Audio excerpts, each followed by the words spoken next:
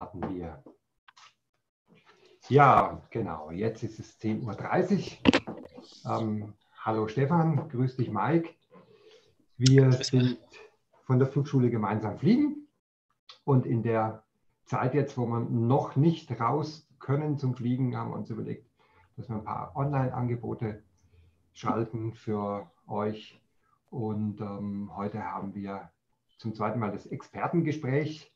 Also wir fragen einfach Leute, die sich auskennen in der Branche, interessante Persönlichkeiten zu interessanten Fragen. Und heute ist der Stefan Stiegler bei uns im virtuellen Studio. Stefan Stiegler ist Gleitschirmdesigner, Gleitschirmentwickler bei Air Design. Jo, grüß euch. Nett, dass ich da sein darf. Freut mich. Und der Mike ist mit dabei in der Runde. Später kommen vielleicht noch mal zwei dazu. Der Mike ist Testpilot bei Air Design. Hallo Mike, schön, dass du dabei bist. Hallo, grüß euch. Hi. Gut, ähm, Mike, wegen der Performance dürfen wir dich vielleicht gerade videomäßig äh, unterbrechen. Ähm, Aber Fragen auch dahin sind möglich. Fragen auch zum Mike sind natürlich möglich. Aber lass uns mal anfangen mit dem Stefan. Ähm, ja, mal grundsätzlich die Frage, Stefan, wie ist eigentlich so dein Werdegang? Wie bist du eigentlich zum Gleitschirmentwickler geworden? Hast du mit fünf Jahren, als du noch äh, in die Grundschule gegangen bist, schon gedacht, ich werde mal Gleitschirmentwickler oder hat sich das irgendwie anders ergeben? Naja, bin ja doch jetzt schon nicht mehr ganz der Jüngste, also ich fliege schon seit über 30 Jahren. Und angefangen habe ich 1988 mit Gleitschirmfliegen. Also wie ich fünf Jahre alt war, da hat es noch lange keine Gleitschirme gegeben. Und ähm, ja, im Endeffekt hat sich bei mir eigentlich alles so, ja, kann man sagen, jetzt nicht, ist mir nicht alles in den Schoß gefallen, aber es hat sich alles so entwickelt, wo ich jetzt gerade stehe. Also das eine ist zum anderen immer kennen. Natürlich muss man dann irgendwann äh, gewisse Entscheidungen, Crossroads, die, die Abzweigungen richtig wählen. Und ja, 88 habe ich angefangen, Gleitschirmfliegen. Da waren so eine Clique mit so ein paar Burschen im Dorf. Einer von uns hat schon, ist schon geflogen. Und dann hat es geheißen, ja, wir müssen jetzt alle, alle fliegen anfangen, weil es so geil ist.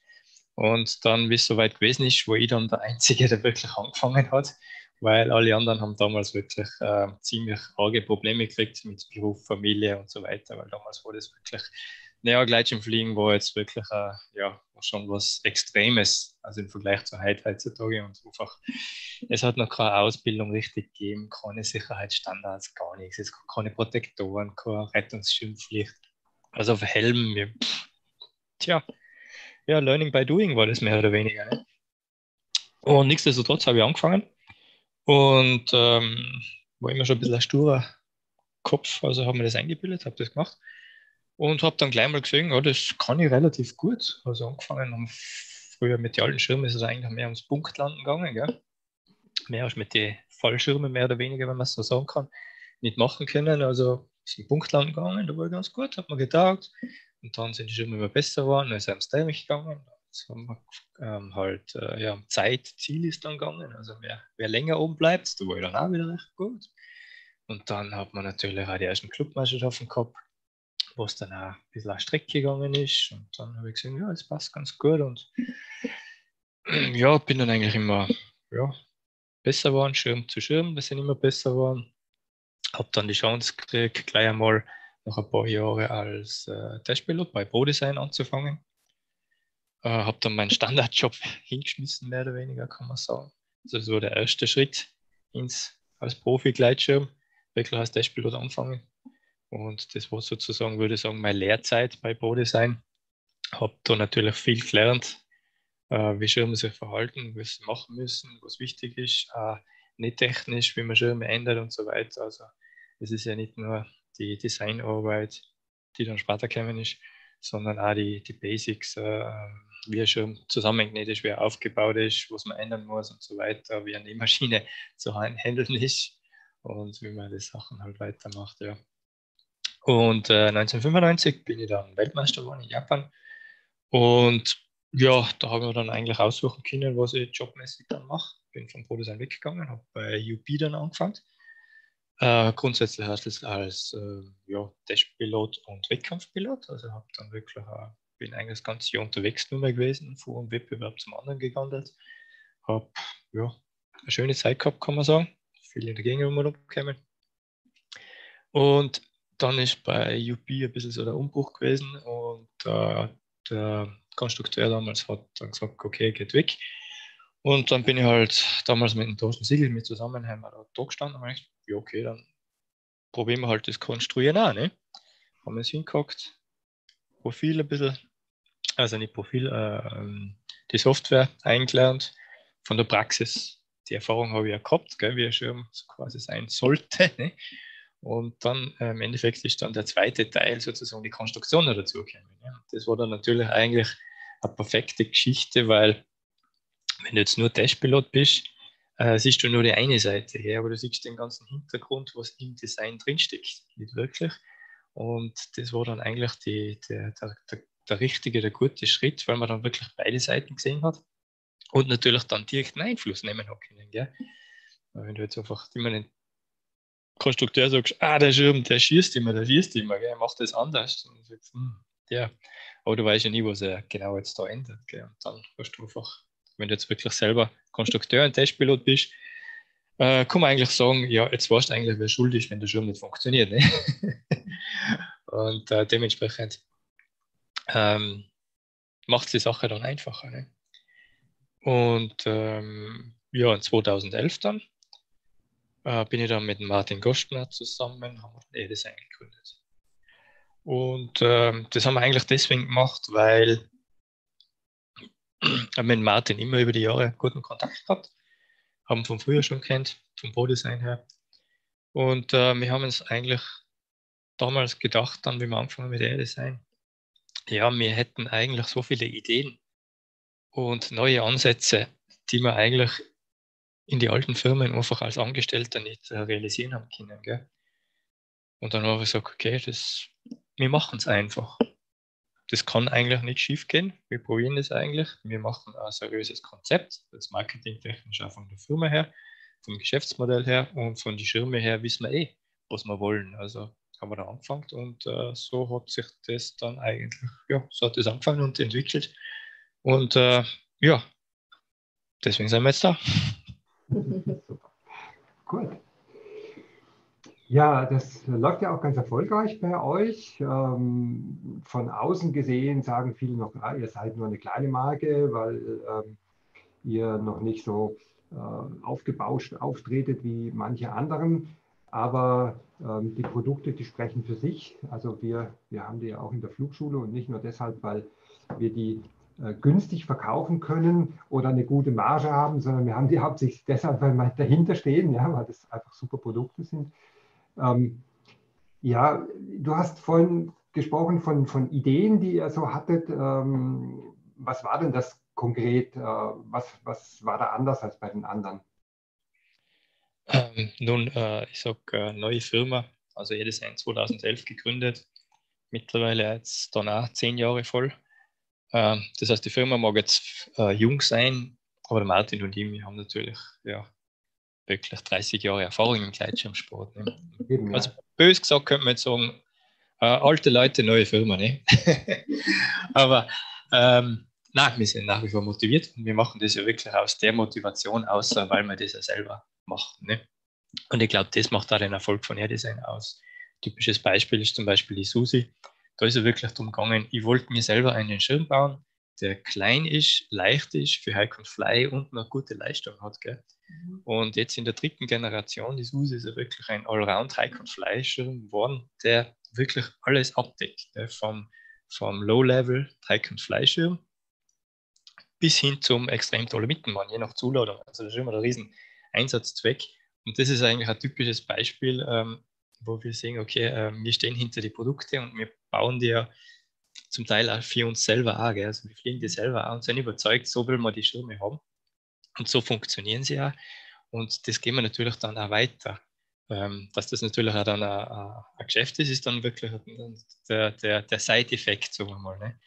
Aber ich glaube, das ist einfach ähm, der, der Weg zum Erfolg, wo man einfach sagt, okay, ähm, die, die Sache, die du, hinter der du selber steckst, äh, stehst und die du dann auch wirklich, ähm, ja, wo man merkt, okay, da steckt das ganze Herzblut drin und das versucht man dann auch dementsprechend zu entwickeln und, und man versucht es dann so zu machen, dass man selber damit zufrieden ist und dass ein gutes Produkt rauskommt und alles andere ist dann wirklich äh, ja, kommt von, von selber.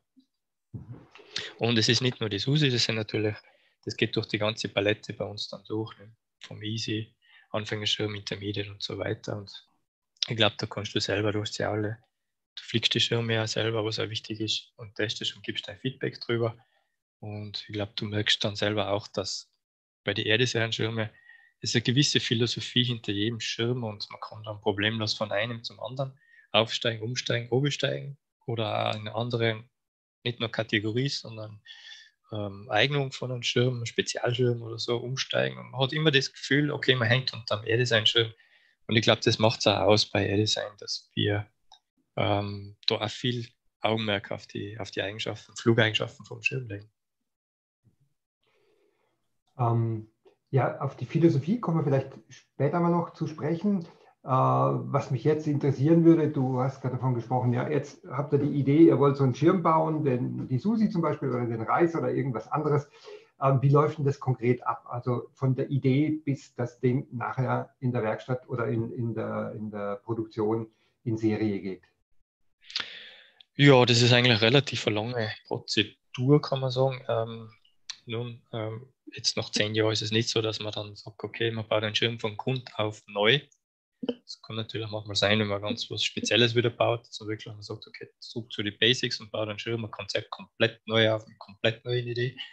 Aber meistens ist es so, du hast ja einen Vorgänger oder ein anderes Modell und ähm, du hast da äh, viele Ideen und Neuerungen eingebaut und die werden dann einfach, gehen dann einfach in eine andere Kategorie über. Also der nächste Schirm ist mehr oder weniger Evolution, was jetzt auch nicht, äh, kann ja gleichzeitig eine Revolution sein, ist ganz klar, wenn neue Ideen wieder eingebaut werden. Aber deswegen äh, hat zum Beispiel der Nachfolger wieder ähnliche Zellsoll, ähnliche Streckungen und so weiter. Nur im Detail dann spielt sich dann im Schirm relativ viel ab. Gell?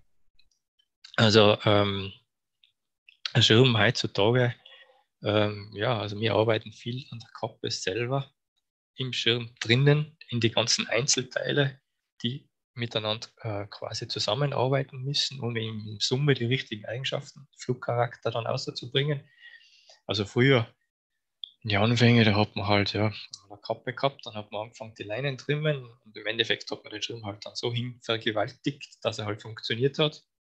Im besten Kompromiss für alle Sachen, die man halt so braucht.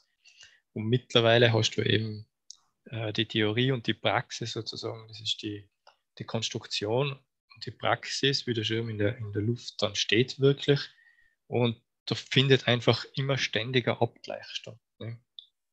Ein Prototyp wird gebaut, wird ausprobiert, geflogen und dann funktioniert der jetzt vielleicht nicht so, wie man sich das gedacht hat, oder der macht genau das Gegenteil, was jetzt, ja, manchmal logisch, manchmal unlogisch ist. Und dann versucht man halt herauszufinden, äh, wieso macht er gewisse Sachen, was verformt sich jetzt in der Praxis, damit es jetzt, weil das jetzt nicht so ist oder eben genauso ist. Also machen wir das auch Bestätigung, machen wir das einfach auch, äh, äh, ja, Ursachensuche. Ja, also kann schon sagen, unter der, während der Entwicklung ja, also 75 bis 80, 90 Prozent der Zeit funktioniert nichts. Ne? Sonst wenn ich wollte gerade fragen, wie ist das so prozentual? Wie viel macht ihr am Schreibtisch, Ideen entwickeln, konstruieren und wie viel an der Zeit ähm, funktioniert dann eigentlich in der Praxis? Ja, das ist relativ schwer zu sagen. Also typischer Tag läuft dann meistens so, ab in der Früh äh, oder am Vortag legen wir dann schon fest, okay, was machen wir am nächsten Tag? Äh, meistens machen wir irgendeine Änderung am Prototypen irgendeine Spannung oder sonst was äh, wird modifiziert am Schirm. Man geht raus, fliegen, macht einen Testflug. Ein, zwei, drei. Manchmal kann es auch passieren, macht einen Testflug und sieht, oh, das haut mal gar nicht hin. Dann fährt man gleich wieder heim zu der Nähmaschine und nicht wieder um oder geht nachmittags wieder fliegen oder am nächsten Tag. Gell? Also es ist immer so ein, so ein, so ein Kreislauf, kann man sagen. Ne? Und ähm, wie vorher eben gesagt, man versucht dann halt ähm, die Änderungen, die man am Schirm macht, äh, in der Praxis einfach zu bestätigen oder die Ursachen herauszufinden oder eben äh, ähm, neue Erfahrungen zu gewinnen aus einem gewissen Design. Und das geht dann wieder zurück äh, in, ins Design am Computer, in die, in die Konstruktion. Und das geht dann halt eben so lange hin und her, bis sich beide Welten sozusagen dann ja, so gut wie möglich abgleichen, treffen. Also das Idealfall ist einfach dann, du machst dann das Design am Computer, gehst raus, fliegen und das funktioniert. Mhm. Und so hast du dann eigentlich das Optimum. Also der Schirm fliegt dann am besten, kann man eigentlich sagen. Ja. Im Durchschnitt, also, wie viel braucht es, wie viel Konstruktion, bis er sagt, jetzt haben wir den Schirm so, wie wir den haben wollten, wie die Idee war oder ist es noch besser geworden? Wie, viel, wie viel Mal habt ihr konstruiert und umgenäht und umgebaut? Das ist relativ verschieden. Mhm. Ähm, das hängt natürlich jetzt auch vom, vom, von der Kategorie ab. Also durchschnittlich sagen wir mal also ein Jahr Entwicklungszeit pro Schirm. Mhm. Äh, es gibt dann schon wieder Ausreißer, die ja mal ganz schnell wieder gehen. Oder es gibt da Ausreißer, wo man teilweise seit drei Jahre dran basteln. Und äh, es ist nicht gesagt, dass es nicht funktioniert, aber, macht man, aber es ist ja gleichzeitig, äh, man hat ja einen Anspruch und äh, man sagt dann, nein, ich bin da jetzt noch nicht zufrieden. Das, das, das muss jetzt da anders werden. Äh, man könnte es zwar zulassen und äh, es wird fliegen, so wie es soll, aber ich bin nicht zufrieden. Weißt? Also es muss, man hat da schon einen Anspruch auch. Gell? Es ist ja nicht gleich die. Habe ich ist nicht, ausgehört, ja. je höher klassifiziert, desto mehr Testversionen müsst ihr machen. Na, das ist eigentlich ähm, ganz unabhängig davon. Natürlich bei den Hochleister schaut man dann mehr Richtung äh, Leistung und, und Handling. Und beim A-Schirm geht es natürlich dann, ja, da hast du dann null Spielraum in puncto Sicherheit. Trotzdem sollten natürlich die anderen Sachen auch funktionieren. Das heißt, ein, ein A-Schirm ist eigentlich fast schon das Schwierigste, weil du einfach keinen Spielraum hast. Gell? Mhm. Äh, weil das muss wirklich alles im grünen Bereich sein. Und der Schirm soll noch Spaß machen, gut gehen und alle Eigenschaften praktisch wie sicherheitstechnisch haben. Ja, also, und gleichzeitig hast du beim A-Schirm noch die, die geringsten Konstruktionsmöglichkeiten, weil er wenig Zellen hat ne? Mhm. und wenig Innenleben. Ne? Das heißt, ich habe da eigentlich am wenigsten ähm, wenig Möglichkeiten ins Design einzugreifen. Also die ganzen Verformungen, du hast wenig Zellen, das heißt, du hast mehr Ballooning, der Schirm verformt sich mehr mhm. im, im, im, beim Fliegen und ähm, also das dann wieder abzugleichen, ist ungemein schwieriger, als wenn ich jetzt einen Schirm habe mit 100 Zellen, mhm. wo einfach viel mehr Profiltreue da ist. Alles, was ich im Design rein tue, habe ich wirklich, kann ich uns, uns viel besser umlegen, weil es einfach, ähm, ja, wie gesagt, mehr Profiltreue hast und du kannst das besser steuern, weil genau das, was du änderst, kommt dann auch in der Praxis mehr aus. Also beim Anfängerschirm mit den riesigen Zellen und so weiter ist das viel schwieriger. Und mhm. ich habe viel weniger Möglichkeiten, da einzugreifen. Also unter Umständen ist der, der A-Schirm eigentlich das schwierige, schwerere Design als ein Hochleister. Von dem her. Gell? Deswegen kann es ja sein, dass der A-Schirm vor der Entwicklungszeit manchmal viel länger dauert als ein Hochleister zum Beispiel. Ne? Okay, danke, wusste ich nicht. Ja, jetzt ist ja äh, da so eine neue Tendenz, High-A-Schirme, viele Zellen. Äh, ist das daraus entstanden, weil es einfacher zu konstruieren ist oder hat es am Ende dann doch auch Vorteile für den Kunden? Ich meine, natürlich sind die Konstruktionen aufwendiger und teurer. Äh, braucht der Flugschüler denn überhaupt die Performance von so einem High-A-Schirm oder was, was hältst du von dieser Tendenz? Werdet ihr da demnächst auch mitmachen? Ja, ich kann jetzt da nicht für andere Hersteller sprechen, wieso man das macht oder nicht.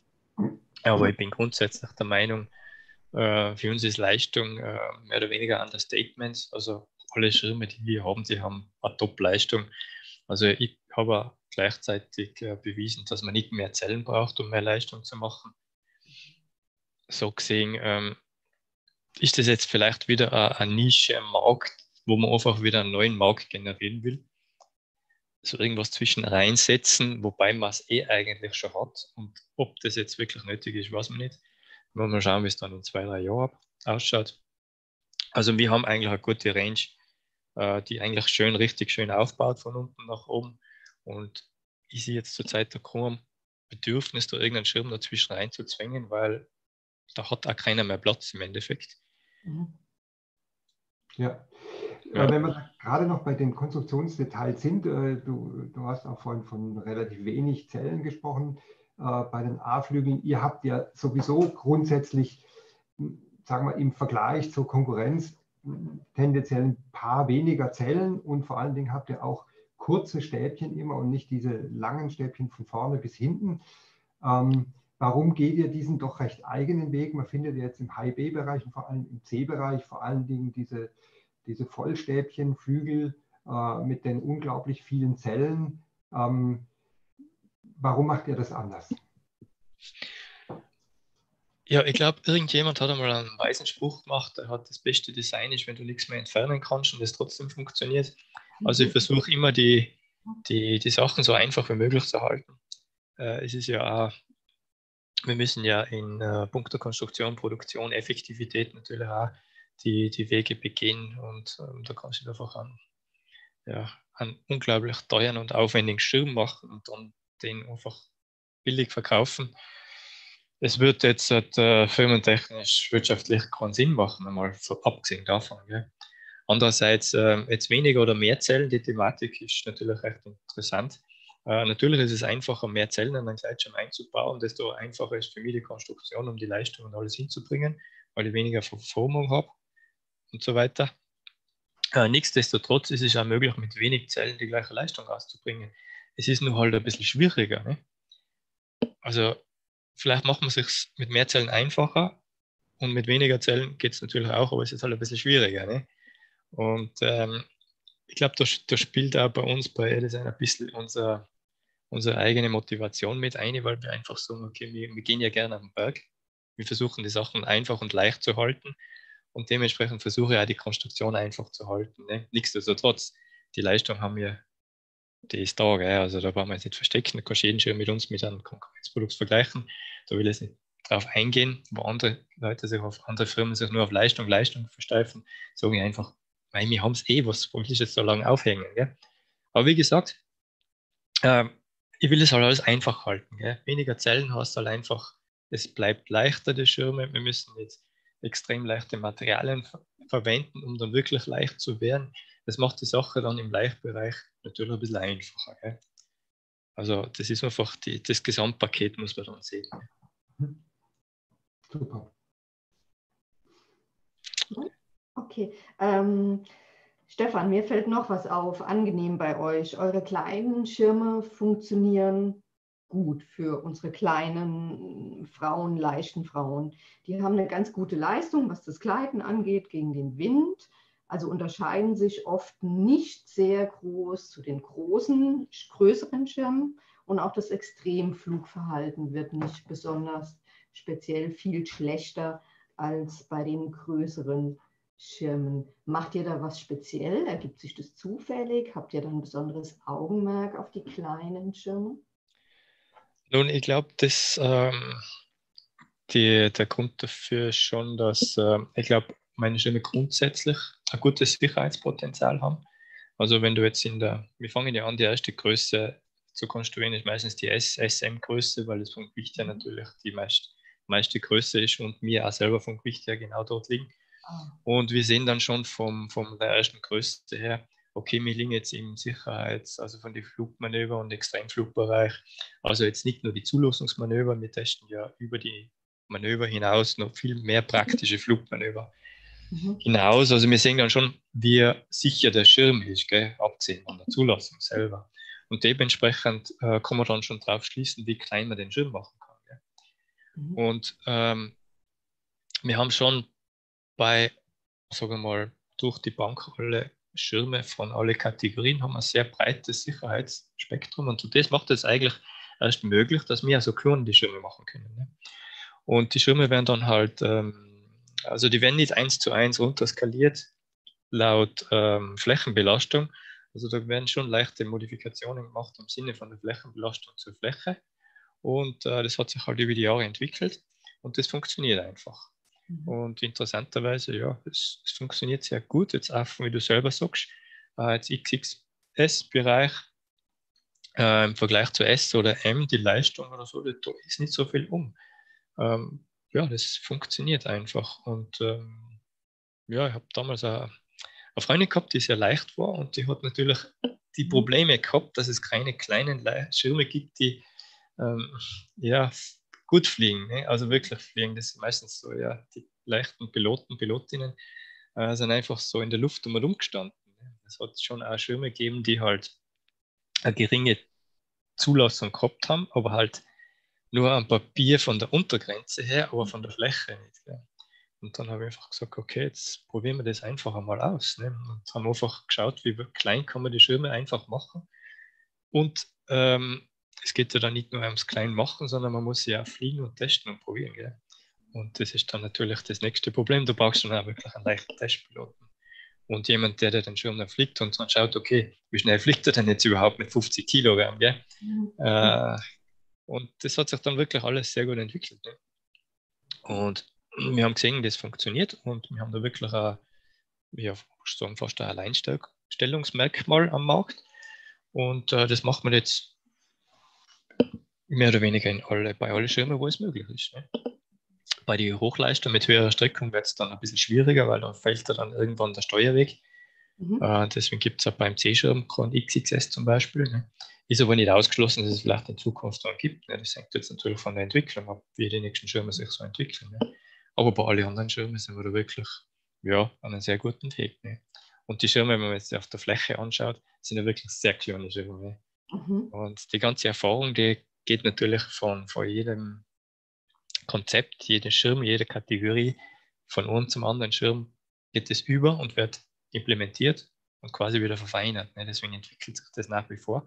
Und auch die kleinen Schirme werden laufend noch immer noch wieder besser. Ne? Also wir haben zum Beispiel auch bei der Susi, die 13er ist natürlich ein extremes Ding, ne? aber man hat, oder wenn man jetzt zu 16er geht, also es ist schon lustig, wie klein die Schirme mittlerweile funktionieren, jetzt auch im Rahmen von der Zulassung. Das wäre vor ein paar Jahren eigentlich noch nicht möglich gewesen. Hätte man selber auch gar nicht gedacht. Das war am Anfang gar nicht geplant bei der Susi 1 zum Beispiel. Gell.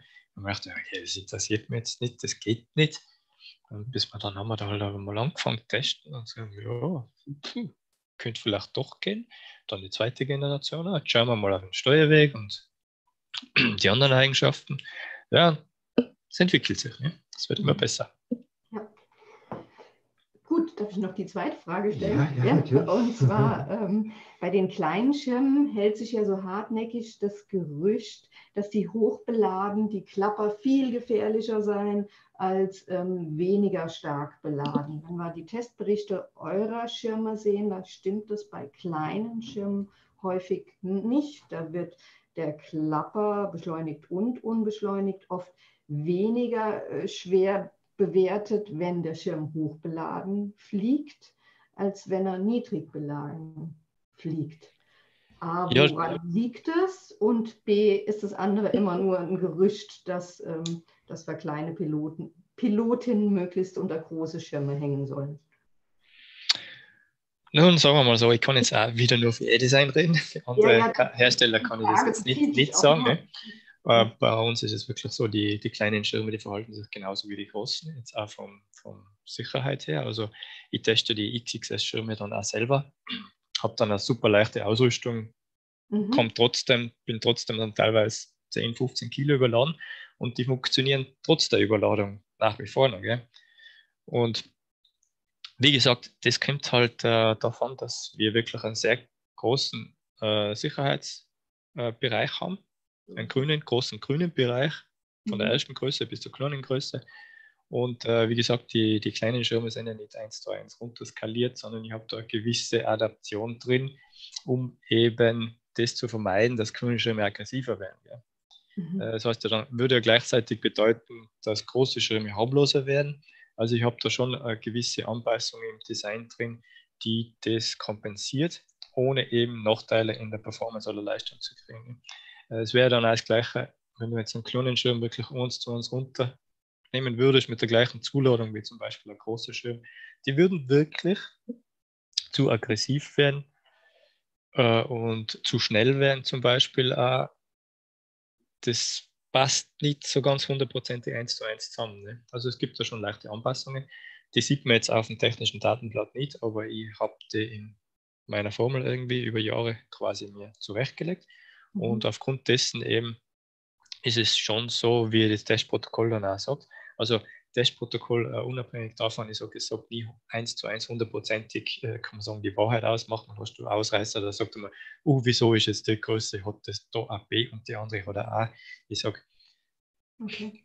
ist nicht zwingend der Fall. Mhm. Ich sage einfach praktisch gesehen, die Schirme praktisch gesehen verhalten sich gleich. Da ist auch das gleiche Gefühl drunter, vom Steuerweg, vom Handling her. Aber wenn du einen Klopper ziehst, von der Aggressivität her, und das macht es aus, das ist alles sehr identisch, unabhängig von der Größe. Ne? Aber nicht selbstverständlich, ich will es jetzt nochmal sagen, das ist schön bei den kleinen Schirmen. Nein, nein, eben, ich sage, wir haben uns da wirklich Gedanken drüber gemacht und das hat sich schon über die Jahre so entwickelt. Also ähm, ich, äh, früher war das natürlich schon auch so, wenn man da jetzt runter skaliert hat, hast du gesehen, okay, kleiner geht nicht mehr, das wird zu giftig, zu aggressiv. Das ist eben allgemein so die Meinung, das ist ja klar. Aber wenn man sich damit befasst und das dann ein bisschen verfeinert und eben anpasst, dann sieht man sehr wohl, dass es möglich ist und dass wir ja kleine Schirme bauen können, die funktionieren und auch die Steuerwege haben und alles, also das alles wirklich funktioniert. Ne? Ohne eben auch äh, Leistungseinbuße oder Handlingseinbußen oder sonst was zu mhm. haben. Also man hat ja wirklich dann auch beim Kleinen wirklich einen netten, feinen Schirm, nur halt mit weniger Zuladung. Das ist das Ziel, ja. Super, genau, das ist das Ziel. Super. Ja, was mir auffällt, wenn wir gerade beim Thema kleine Schirme sind, ist, dass eure Flügel überhaupt klein gut fliegen. Also jetzt ich zum Beispiel bin ja eigentlich so ein Piloten, Pilot im mittleren Gewichtsbereich, so die klassischen 80 Kilo.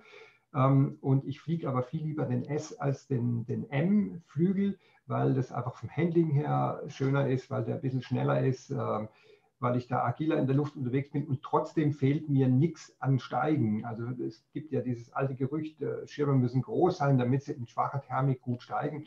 Das kann ich jetzt überhaupt nicht beobachten, dass da irgendwas fehlt. Woran liegt denn das? Also ist das Vorurteil grundsätzlich verkehrt oder ist das auch ein bisschen speziell eher Design, dass auch die kleinen Größen oder anders gesagt die hohen Flächenbelastungen trotzdem gut steigen? Ähm, ja, ich sage, das Steigen selber kommt jetzt ja nicht nur von der Fläche. Ne? Ist natürlich einfach, einen großen Schirm zu fliegen, dann, damit du steig, besser steigst. Das ist klar, mehr Fläche macht mehr Auftrieb, das ist ganz logisch. Aber du hast ja noch wirklich einen zweiten großen Aspekt im, im Gleitschirm, das ist das Profil, das ist auch den Auftrieb erzeugt. Ne? Und äh, ich habe sehr viel, ich probiere da relativ viel aus am Profil, äh, um eben ähm, äh, die, die Leistung und den Auftrieb quasi wirklich optimal auszubalancieren. Ne? Das heißt, du musst jetzt nicht unbedingt, du kannst natürlich über ein Profil, über einen Auftrieb natürlich auch den Auftrieb steuern, wie auch mit der Fläche. Ne? Also beim Tandem, beim Ride, haben wir da ganz ein neues Profil eben äh, gemacht, das wirklich, ähm, weil eben beim Tandem du ganz andere ähm, Zweckeignung hast, also du ähm, ich habe versucht, die Sache ein bisschen anders auszutarieren dass du sagst, okay, ich erzeuge jetzt mehr Auftrieb über das Profil als über die Fläche. Gell? Mhm. Also ich habe versucht, den, den, den, den Punkt, wo man sagt, okay, ich brauche einen Schirm, der gut startet, der mir gut weghebt und so weiter, ähm, ist für einen Tandem wichtig. Aber andererseits, wenn die Fläche zu groß wird, hast du wieder Nachteile, wie zum Beispiel dann mit leichten Piloten oder wenn der Wind stärker wird. Ne? Da habe ich mir gedacht, okay, das kann man doch vielleicht ein bisschen anders da machen. Gell? Also vielleicht kann ich dem, dem Auftrieb jetzt weniger bisschen von der Fläche zum Profilschirm. Äh, normalerweise hast du auch mehr Auftrieb, mehr Widerstand. Und äh, das heißt, du hättest dann eine Leistungseinbuße, aber wir haben das da recht gut hingebracht. Also der, der Tandem ist trotzdem sehr leistungsstark und äh, hat ein bisschen eine kompaktere Fläche. Und ich habe das trotzdem geschafft, im Gesamten die ganzen Vorteile rauszuziehen und aber keine Nachteile dazu haben. Also jetzt haben wir da aber das war wieder so eine Sache, wo man gedacht habe, ähm, ja, jetzt wenn ich mir selber ein Tandem bauen würde, ich möchte mir nicht an einen 41 Quadratmeter Tandem zubehängen. ja, weil ich selber 70 Kilo habe. Aber S-Tandem, wie es halt so gängig am Markt ist, wäre mir jetzt eigentlich zu klein, gell? Hm, ja, okay. Wieso baue ich mir jetzt nicht eine Größe, die halt genau meine Größe ist? Aber dann haben die anderen Piloten, die fürs Gewerbe fliegen, ja wieder noch teilweise nicht so große Pass äh, Passagiere zuladen können. Ne? Ja, okay, dann brauche ich halt einen Schirm mit mehr Auftrieb. Ne? Et voilà, das ist der Ride 3. Macht mehr Auftrieb über das Profil, die Fläche haben wir kompakter gehalten, hast die Vorteile eben bei geringer Zuladung, dass der Schirm weniger Geschwindigkeit verliert und trotzdem effektiv auf die Trimme ist. Das Handling bleibt gleich. Gleichzeitig, wenn du viel zuladest, erzeugt das Profil nach wie vor nur den Auftrieb. Das heißt, du kannst mit der kompakteren Fläche äh, noch viel schwere Passagiere dazu laden und hast auch keine Nachteile. Ne? Gut, klingt plausibel. Was noch ein Einf äh, Einfluss ist natürlich auch die Krümmung vom Schirm. Ja. Also es geht ja dann eigentlich mehr um die projizierte Fläche, nicht die ausgelegte Fläche. Das heißt, Schirme, die eine hohe Krümmung haben, haben weniger projizierte Fläche und dann natürlich hast du dann ein bisschen weniger Auftrieb. Ne? Also je flacher der Schirm ist, ist auch das Verhältnis von flach zu projizierter Fläche. Ähm, ja, also man kann nicht unbedingt, wie du sagst, äh, große Schirme steigen gut. Ich kenne auch große Schirme, die nicht gut steigen, aber ähm, grundsätzlich kann man es sagen, aber ich sage, die, die, die Sache liegt dann schon im Detail vom ganzen Konzept. Mhm. Wenn wir gerade bei Details vom ganzen Konzept sind, äh, ich bin vor kurzem zum ersten Mal euren Reis 4 geflogen und will den gar nicht mehr hergeben. Ähm, erzähl doch mal ein bisschen, was da so drinsteckt im konkreten Detail. Der scheint ja doch wirklich ähm, mehr als nur eine kleine Evolution zum Dreier zu sein, der ja auch schon gut war. Ja, der Dreier war oder ist nach wie vor guter Schirm und hat äh, viele glückliche Piloten sozusagen. Und äh, beim Viererreis, ähm, ja, wenn man das jetzt von der Konstruktion her sieht, ähm, natürlich baut man dann wieder die ganze Evolution ein, die man von den anderen Konzepten, von den anderen Schirmen, die man zwischenzeitlich gemacht hat in den letzten zwei, drei Jahren, äh, das baut man dann wieder ein. Also diese Evolution sozusagen. Kann man dann im Detail noch durchgehen, was wir da alles geändert haben. Und man eigentlich man hat dann nicht so viel Erwartung, wenn man dann den ersten Prototypen kriegt, weil weil du siehst das im Design und, und siehst dann, hm, okay, da haben wir das und das optimiert, theoretisch sollte es so und so viel besser gehen. Und dann fliegst du den Schirm halt fliegen und ähm, denkst du halt, ja, jetzt, okay, schauen wir halt einmal beim ersten Prototyp, werden wir da jetzt so einen riesigen Sprung machen. Gell? Und dann bin ich aber den Schirm das erste Mal geflogen, echt, hm, ich habe das Gefühl, das schaut ganz gut aus. Gell? Und deswegen haben wir ja auch gesagt, der Wow-Effekt. Das war dann wirklich so. Dann der Mike, ein Testpilot, hat auch geflogen, wow, geil. Und dann den nächsten fliegen lassen. Und er hat gesagt, boah, der Schirm ist echt geil. Gell? Und ich glaube, der geht gut, jetzt müssen wir mal Vergleichsfliegen anfangen. Gell? Dann sind wir aber ganz verblüfft gewesen selber, dass der Schirm jetzt so viel besser geht als eigentlich der Vorgänger. Ne? Also ich weiß, man sollte es normal nicht sagen, gell, dass der alte schlecht geht oder was und der alte ist gut gegangen. Gell? Aber der neue geht wirklich nochmal um ein Haus besser. Und das war wirklich dann eigentlich verblüffend und als Konstrukteur dann selber wieder so eine Sache, wo ich sage, ha, cool, geil, gell? Das ist eine coole Motivation, gell? wenn man sieht, okay, was wieder alles möglich ist.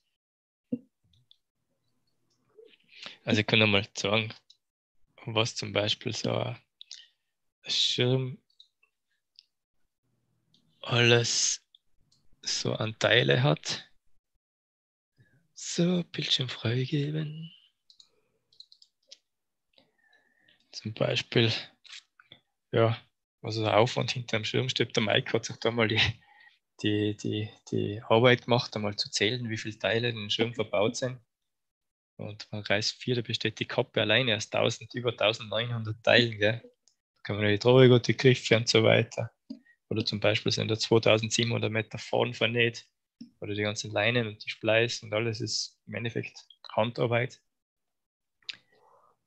Also sieht man erst einmal, was da für Arbeit drinsteckt gell, in so einem. Gleitschirm, der dann ja, seinen gewissen Preis hat. Mhm. Wahnsinn, ja, ja. Ja, ähm, Mike, äh, kann ich dich vielleicht mal ansprechen? Der Stefan hat gerade schon gesagt, ja, du bist den geflogen und ist gleich mal gesagt, oh, aha. Ähm, wir haben vorhin schon mal ein bisschen geplaudert, als äh, wir noch nicht online waren. Wie, wie sieht denn so dein, äh, dein Alltag aus? Was, was machst du da so Erfahrungen bei der Testfliegerei? Ähm. Ja, bei mir, ähm, jetzt muss ich mal schauen, das Bild. Ja, bei mir schaut es einfach so aus, wie ich, wie der Stefan schon gesagt hat, wir machen uns meistens immer abends, einen Abend vorher schon einen Plan. Da wissen wir das dann über WhatsApp oder was auch immer, schreiben uns eine Nachricht und äh, ist ganz unterschiedlich. Oft tue ich morgens noch E-Mails beantworten, weil ich doch auch die ein oder andere Frage bekomme oder auch einfach technische Fragen weitergeleitet bekomme. Ja, und dann treffen wir uns meistens, ja, logischerweise zum Fliegen. Ja, probieren dann die Prototypen aus. Oder es sind halt, wenn wir vom Vortag, weil irgendwann macht man ja Feierabend und wir wissen, wir haben das und das zu ändern, dann sitze ich halt entweder bei mir oder beim Stefan in der Werkstatt an der Nähmaschine und dann führen wir die Änderungen durch bevor wir fliegen gehen, weil, wie soll man sagen, vor dem Fliegen ist nach dem Fliegen und nach dem Fliegen ist vor dem Fliegen sozusagen. Ja, ja. Ja, und, und, und, wie ist es so jetzt? Äh, du, du, fliegst so einen Schirm und, ähm, und dann stellst du fest, wow, ja, zum Beispiel, oder hm, irgendwas stimmt nicht. Ähm, an, an, an, was machst du das so fest? Ich meine, man hat ja nicht jeden Tag die gleichen Bedingungen oder auf was kommt es da an? Ziehst du dann da 50 Klapper oder schaust, wie der gleitet oder wie in die Kurve geht oder was sind da so die speziellen Kriterien oder was war es beim Reis 4 zum Beispiel, dass du gesagt hast ähm, oder dass ihr alle gesagt habt, hm, da ist jetzt irgendwas äh, doch irgendwie gut. Ja, beim Rise 4, also die Sache ist, ist, du musst auf alles achten. Wir sind jetzt ja nicht die Zulassungsstelle. Die Zulassungsstelle, die nimmt einen Schirm, fliegt die Manöver, es sind 24 Stück in der Zulassung, die geflogen werden müssen. Die fliegen die, entweder die passen oder die passen nicht äh, in die Kategorie und das für die fertig. Bei uns ja anders, wir müssen ja auf alles achten. Wir entscheiden, wie das Handling ist, ob das Handling träge ist, ob das Handling agil ist. Da kommt ja viel, viel mehr dazu, wie nur die Klapper ziehen. Ja. Und das ist, das fängt bei mir schon an. Ich achte darauf, wie der Schirm startet. Das ist schon das allererste. Ich achte darauf, wie, lässt, wie der Tragegurt zu handeln ist. Ähm, es ist jeder Tag anders und je nachdem, was für ein Proto, in welchem Stadium wir schon sind. Bei so einem Erstflug vom Rise, da war halt auch einfach mal drauf geachtet, wie startet das Ding. Dann äh, rausgeflogen und, ähm, und äh, ja, dann, ich fange halt immer an, ich mache so Kleinigkeiten. Ich beobachte erstmal den Schirm, weil du hast hier so ein Stück, wo du rausgleitest, wie ich sage immer in die Box, wie beim Akrofliegen, einfach in so einen sicheren Bereich, wo wir reinfliegen, am besten über dem See. Ja, und äh, da beobachte ich den Schirm. Was macht er? Rollt er? Nickt er? Macht er irgendwo welche Falten, wo eine Spannung nicht stimmt? Macht zwischendurch ein paar Fotos. Und dann fange ich meistens an. Ich mache so ein bisschen Stabilitätskontrollen. Äh, ich lege mal die Ohren an. Ja, weil äh, man kann das Ganze sicher betreiben oder man kann es halt übertreiben direkt. Also ich kann natürlich rausfliegen, voll beschleunigt gleich eine Klappe machen und mich an der Rettung da irgendwo meinen Platz suchen oder ich mache halt das gewissenhaft und gehe dann Step für Step. Ja, mache dann, wie gesagt, mal die Ohren rein. Dann äh, mache ich mal einen kleinen Klapper, ein bisschen größer. Und dann merke ich oft schon, ah, jetzt spickt er vor oder der Klappwinkel ist sehr steil oder er schnalzt auf. Und da weiß ich schon, ah, größer sollten wir vielleicht nicht machen. Ja. Und ähm, ja, da kann man dann halt so ein bisschen abwägen. Und ich probiere es dann aus, okay, war, hat ein bisschen geschnalzt. Schauen wir mal, vielleicht wird es besser, wenn es größer wird. Mache ich den Klapper ein bisschen größer. Ja, das, da braucht es aber viel Gefühl und viel Erfahrung für. Und äh, mein Vorteil ist, dass ich ja jetzt schon seit 2016 fix angestellt bin bei AirDesign, 2015. Also ich arbeite schon seit 2014 eigentlich immer mit Stefan zusammen und äh, immer direkt neben dran und ich kann halt da viel Erfahrung einfach mitnehmen vom Stefan. Er hat mir am Anfang oder auch so ganz viel erklärt immer und dadurch, ja, es bleibt logischerweise hängen, weiß ich dann oft auch schon, was ist. Also es ist, wie soll man sagen, ein Klapper machen kann jeder, aber das Ganze beurteilen, warum, wieso, was passiert, das können halt nur wenige und das ist eben der, der Hintergrund. Wenn ich einen äh, Klapper mache, mittlerweile verstehe ich oft auch, was ist. Und wie gesagt, wenn ich alleine fliegen gehe, sage ich dem Stefan dann oft, das und das hat der Schirm gemacht. Ich vermute, wir könnten das ändern. Dann äh, gibt es eine kurze Kommunikation. Sollen wir ja, nein, probier mal oder probier was anderes. Und dann, äh, ja, so läuft es eigentlich immer ab. Das ist schwierig zu erklären, weil einfach beim Gleitschirm ist mhm. ganz viel, weil es, wir achten ja nicht nur drauf, auf was die Norm macht, sondern wir testen ja über die Norm hinaus. Mhm. Weil, äh, wie soll man sagen, die Norm sollte ja nicht dein Level sein, du willst ja dein eigenes Ding haben, so wie es sein soll, deinen eigenen Anspruch. Ja, das ist sowieso die Frage jetzt auch aus, aus äh, sagen wir mal, Kunden- oder, oder Normalpiloten-Sicht, diese Kategorien, die, die sagen schon irgendwie was aus. Ja, für wen ist der so ungefähr geeignet, so mal ganz grob. Moni, geh mal weg, bitte. Aber, aber eigentlich ähm, will ich ja im normalen Flugbetrieb keine Klapper ziehen, sondern ich will ja Thermik fliegen. Ich will auch keine Full Stalls machen, sondern ich will Thermik fliegen. Äh, oder ich will soaren oder ich will schöne, gemütliche Flüge machen. Und da spielen ja auch andere Sachen noch eine ganz wesentliche Rolle als irgendwie die Abarbeitung von irgendwelchen EN oder LTF äh, ähm, oder? Ja, man muss jetzt da einmal grundsätzlich verstehen, dass die EN-Norm eben ein normiertes Testverfahren ist, wie es auch sagt, Norm. Ein Norm hast du also Standard, das heißt, es muss immer gleich gemacht werden. Und das hat den Zweck, dass es vergleichbar ist. Gell? Also es muss der Klapper muss immer genau in diesem kleinen Messfeld drin sein. Jetzt auch wenn der Schirm vielleicht praktisch vielleicht flacher, steiler, kleiner oder größer klappt oder man muss mehr oder weniger ziehen, dass man da reinkommt. Aber es muss ja immer das Gleiche produziert werden, damit es vergleichbar ist. Und das ist jetzt vielleicht ein bisschen der Druckschluss, wo man eben in der Praxis dann meint, der Schirm verhaltet sich so. Okay, die Norm zielt natürlich schon ab, äh, dass es einen, Praxisbezug hat, um den Schirm in, in eine gewisse Kategorie einzustufen, äh, muss aber nicht zwangsweise auf ein praktisches Flugverhalten ableiten. Gell? Und das ist jetzt eben vielleicht der Irrglaube, wo jeder sich so extrem versteift drauf, dass er sagt, okay, ich brauche ein A oder der hat zu viele B drin, kann ich nicht fliegen oder ist mir zu giftig oder was weiß ich. Ne? Das ist natürlich dann eine Detailgeschichte und im Endeffekt die Verantwortung des Herstellers, den Schirm praktisch flugtauglich, sicher und eben in der gewissen Piloten- oder Kategorie eben äh, ähm, zu designen und eben zu machen. Ne? Also ich konnte jetzt natürlich, wahrscheinlich so ein extrem Beispiel wäre zum Beispiel einen A-Schirm zu bauen, der einfach extrem nervös oder agil, dynamisch ist, wäre komplett fehl am Platze, weil du den Piloten damit überfordern würdest. Ne? Wäre aber möglich. Ne?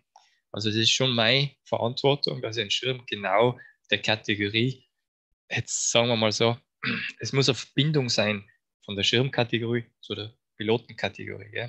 Das fehlt ja ein bisschen, dass man sagt, okay, ich bin jetzt ein Pilot A, B, Low, B, High, B und kann natürlich dementsprechend den richtigen Schirm für mich fliegen. Die Verbindung ist leider nicht da, aber trotzdem, ich als Hersteller muss darauf eingehen, dass ich sage, okay, die Flugeigenschaften von einem Low-B-Schirm müssen natürlich an den Piloten angepasst werden ja? und nicht der Norm. Die Norm muss das dann eigentlich bestätigen, aber meine Aufgabe ist, den Schirm auch so zu bauen, dass er dann so entsprechend auch funktioniert und praktisch und da die Anforderungen genau in der Kategorie an die Piloten stellen. Da sehe ich im Moment ein bisschen eine Tendenz auf dem Markt, ähm, die dem nicht ganz gerecht wird. Also eure Schirme sind auch äh, Schirme anderer Hersteller da äh, im Moment noch rühmliche Ausnahmen, aber es gibt so ein bisschen eine Tendenz, ähm, was ich beobachte und auch schon selber Probe geflogen bin, dass jetzt gerade Flügel höherer Kategorien ähm, vorgaukeln, sie würden nicht mehr die Ansprüche an die Piloten stellen, die eigentlich drunter gehören. Also so Flügel, die eigentlich vorgeben, sie seien super stabil und sie könnten überhaupt nicht klappen und es wäre alles mega sicher. Und ähm, die verleiten dann auch in Bedingungen zu fliegen, wo man eigentlich nicht mehr hingehört und dann kommen sie plötzlich äh, voll um die Ohren geflogen. Ähm, ja, das, äh, das ja, schwer, schwer zu sagen. Jetzt, wie du sagst, auch mit den Hochleister im A-Bereich man versucht, ich glaube, der Markt ist halt alles ein bisschen gesättigt von die Schirme. Jeder Schirm ist mehr oder weniger das gleiche, kann man sagen eigentlich. Und jetzt versucht halt jeder Hersteller vermutlich einmal eine neue, neue Kategorie oder einen neuen Markt zu erfinden und äh, ja, einen neuen Ansatz, der wieder eine neue, neue Motivation für irgendwas bringt. Ne?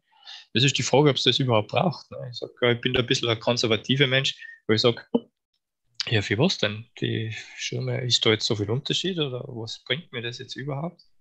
Wir haben so und so viele Kategorien und ähm, es funktioniert ja eigentlich alles. Wieso muss ich das jetzt alles wieder Verwirrung stiften und, und eigentlich verunsichern? Ja, vielleicht bin ich ein bisschen zu konservativ, aber ich glaube, äh, wir bedienen ja trotzdem auch alle Sparten, alle Piloten und jeder kann sich genau das Schirmchen suchen, das ihm passt und was, was er mag. Ne? Stefan, nochmal eine persönliche Frage an dich. Wenn du konstruierst, was, was ist denn das, was du am liebsten machst? Oder wo du sagst, ja, beim Konstruieren. Welcher Part davon macht am meisten Spaß oder wo hast du die, die meisten Erlebnisse, wo du sagst, das, oh, das mag ich dann ganz gern. Oder ist es wirklich das Zusammenspiel von allem, das Überlegen, was ich will, das Konstruieren am Schreibtisch, das Ausprobieren? Äh, ja, es ist, es ist, es ist schon also ein Prozess. Im Endeffekt ist das Konstruieren eigentlich das Ausleeren vom Kopf. Weil, wenn du fliegen gehst und du siehst, hast du eine neue Idee oder irgendwas oder was du umsetzen willst, ja, dann mhm. Oder irgendwas funktioniert nicht und du siehst das, ah, das könnte ich anders machen und das und das. Aber wieso habe ich denn das da so gemacht? Das könnte ich anders, viel anders machen. Ähm, ja, also du musst dann quasi wieder zurück zum Computer und sagen, ich muss das aus dem Kopf rauskriegen, ich muss das machen, gell? Mhm. ausprobieren. Also das Konstruieren selber ist dann schon eigentlich auch die Motivation, wo du dann in dem Design-Prozess, das ist jetzt nicht so, dass du die hinhockst und dann machst eine Sache, sondern das ist ein Prozess. Also wenn ich einen neuen Schirm aufbaue, äh, ich ändere nicht dann ein paar Zahlen und dann kommt was anderes raus, sondern es ist ja immer alles abhängig und hat einen Einfluss auf was anderes. Mhm. Das ist ja nicht so, ich kann eine Eigenschaft quasi das Radl dran und dann erwarten, dass alles andere gleich bleibt. Das heißt, ich, ich schraube da dann an viele Sachen, die hängen dann zusammen. Das ist wie so eine komplett ziemlich komplexe Sache, wo man immer im Hintergrund äh, bedenken muss, was ändere ich jetzt da überall Design. Ich kann dann schon jetzt sagen wir, aggressiver machen, äh, weil man vielleicht zu träge ist, aber was ändere ich damit? Alles. Gell? Also es muss ja trotzdem alles, muss ja alles funktionieren. Kann ich immer nur eine Sache ändern und so gesehen ist es also eine Schirmkonstruktion eigentlich von vorn bis hinten also ein durchdachtes Ding und ein Prozess. Ich schalte meistens Telefon, Skype und alles ab, weil mhm. jedes Mal, wenn da eine Unterbrechung ist, muss ich eigentlich wieder von vorne anfangen. Weil man der Gedankenfluss verloren geht. Ne? Mhm, das verstehe ich gut. Und also das ist äh, irgendwie, man muss das dann, ich versuche das immer als Ganzes zu sehen, das Ganze, und dann wirklich durch, durch also im Endeffekt habe ich ja einen internen Computer, der das quasi vormoduliert und ich weiß dann genau, wo sie umzusetzen habe, wo sie ändern, was weiß ich. Und am ähm, Computer quasi lasse ich das dann nur mehr raus und dann setze ich es um. Ne?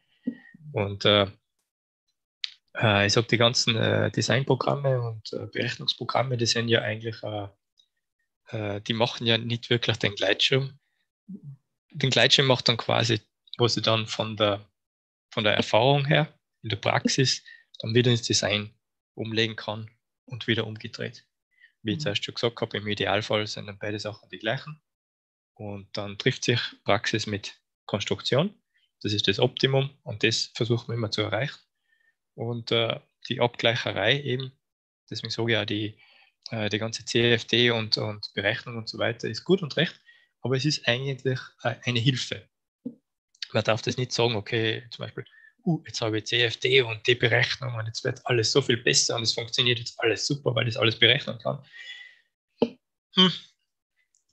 Tja, es Aber braucht schon noch das gewisse Händchen braucht es ne, dazu, ja, weil sonst wird jeder Schirm anders sein und ich will ja eine gewisse Handschrift am Schirm drin haben und der soll ja so fliegen, wie ich das will oder wie eben sie, dass der Schirm in einer gewissen Kategorie fliegen soll. Also es hängt natürlich dann davon ab, wie sehr kann ich mich auf die Pilotengruppe äh, reinversetzen, an einen Anfängerschirm oder mehr in die Leistungsdings-Kategorie ein. Ich muss mir wirklich in die Kategorie eine versetzen.